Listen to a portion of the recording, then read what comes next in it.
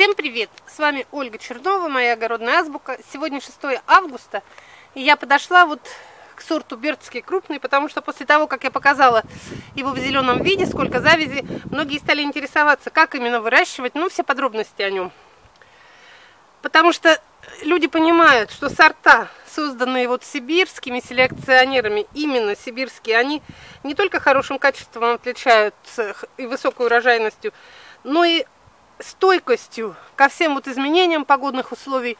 Люди, глядя, какая у меня погода, не очень благоприятная, если так честно, видят, как у меня созревают томаты, они понимают, что эти сорта именно стойкие, они неприхотливые, они за это у нас ценятся. Я тоже, у меня основная часть сибирские сорта. Но что собой представляет бердский крупный? Эти томаты, они универсальны. Они могут расти и в пленочных теплицах временных, и в стационарных, и в открытом грунте. Это сорт высокоурожайный. Первый урожай они дают довольно-таки рано. Они вот на нижних кистях поспели у меня в июле, в конце июля. Ну и потом они продолжают плодоносить. Вот там вот выше, там где листья, там еще кисти нижние созрели, верхние еще будут зреть. Поэтому сорт относят к ранне спелым, потому что он среди других, вот у меня вот эти все крупноплодные, они еще не все так дружно поспели, а он спеет именно дружно, сразу нижние кисти. Помидоры вырастают крупными, но в зависимости от погодных условий, конечно, и сладкими, вкусными. Причем, чтобы получить крупный, сладкий, вкусный, бердский крупный, не надо предлагать никаких условий. Вот посадил, я его просто нижние, удаляю пасынки и нижние листья обрезала, все. Так, какие характеристики именно растения? Оно полудетерминантное, то есть его не надо будет прищипывать. Вот видите, если пойдем вверх, я уже показывала, там бычий лоб в два раза больше, и вот там казанова стоит, вообще как деревья до крыши дома доросли. А эти такие компактненькие, красивые кусты. Ну и производитель заявляет, что с одного куста можно собрать 3 килограмма помидор. Это значит где-то 10-12 килограммов с квадратного метра. Вот по 3 килограмма, я думаю, даже я нынче в эту погоду соберу. Сажа куди. Плоды крупные и важно, что рост кустов не превышает одного метра. Это простота в уходе. Это лишний раз нет лишних пасынков, не нарастает, не надо тянуться, не надо подвязывать. Так, дальше что еще сказать? А, ну подвязывать все-таки обязательно. Вот этот метр, который вырастает, вы видите, как он сильно нагружен урожаем. Сажик уйди. Кс -кс. Его подвязывать надо. Я подвязываю неоднократно. Один раз подвязала, потом второй, третий. Вот по три раза у меня уже подвязано. Еще верхушку буду еще раз под, подвязывать.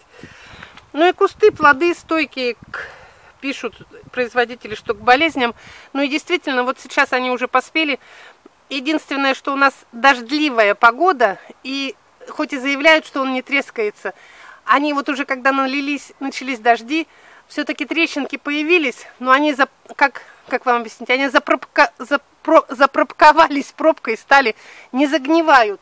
То есть ни, никаких болезней нет в этих трещинках, и я этим сильно недостатком это не считаю.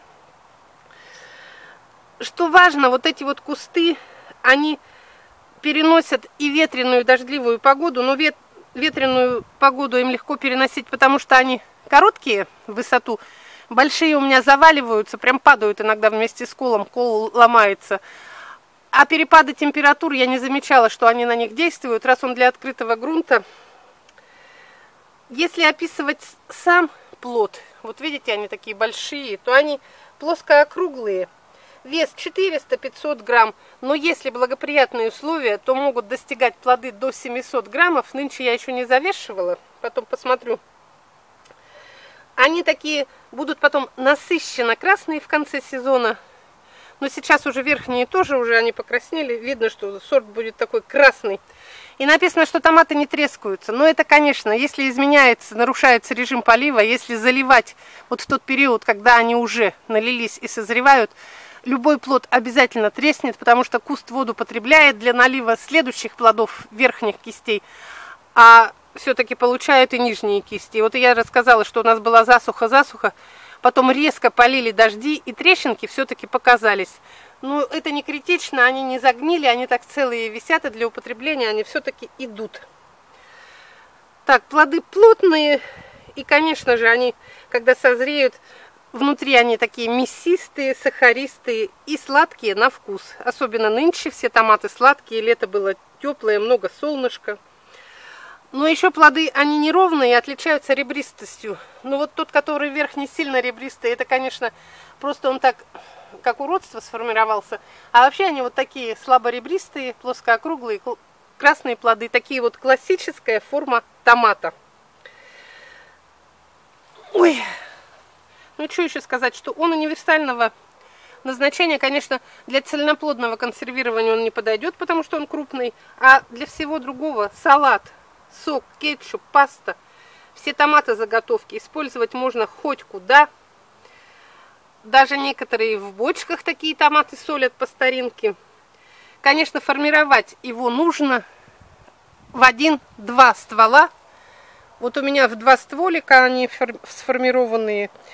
И в два ствола обычно делают для того, чтобы кисти завязались пораньше, особенно вот у нас в сибирском регионе, чтобы успели вызреть Вообще вот этот сорт бердский крупный многими специалистами считается одним, их, одним из самых лучших работ сибирских селекционеров, что действительно никаких проблем с ним нет. Он и крупный, он и спеет рано, он и невысокий, удобный вот так вот для использования, для ухода. Даже пожилым людям намного удобнее вот с такими пенсионером, с короткими томатиками – чем с длиннющими вот с теми. Но те тоже я высаживаю, видите, бычий лоб. Он тоже красивый, но в два раза длиннее. Конечно, этот удобнее. Он под руками подошел, раз-раз сделал, что нужно. Вот это вот общий обзор сорта Бертский крупный. Больше я к нему подходить не буду, потому что там зреют уже очень много новых сортов. Вот это вот краснеет вечный зов. Потом там крупняк начал спеть Анжела, гигант. Батяня на улице, пудовик. Все это спеет для того, чтобы все сорта вам рассказать. Я вот начинаю пораньше, которые начинают созревать. Все, вот показала, это бердский крупный. Потом буду делать дегустацию, покажу вам мякоть и все. Для общего знакомства этой информации достаточно. До свидания. С вами была Ольга Чернова.